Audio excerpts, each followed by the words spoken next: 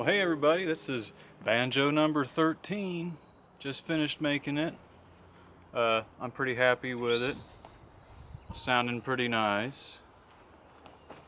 This is actually the first banjo I've made where I use the separate dowel. So this is a oak, a nice like one inch piece of oak dowel that I mortised into the heel of this maple neck.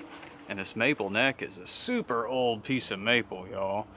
Um, well, you can see it pretty well. I was going to try to take the strap off, but I guess it's not worth it. But it's an old piece of maple, wormy. It's real, almost almost had too many holes to use it. But it sounds really cool. Walnut, cherry, and maple tuning pegs. Sort of a mix here. Robin carved these tuning pegs for me. This one too, little walnut peg. Got a piece of deer bone here that holds the string in. And kind of interesting, I thought, I used a little wormhole that was already here.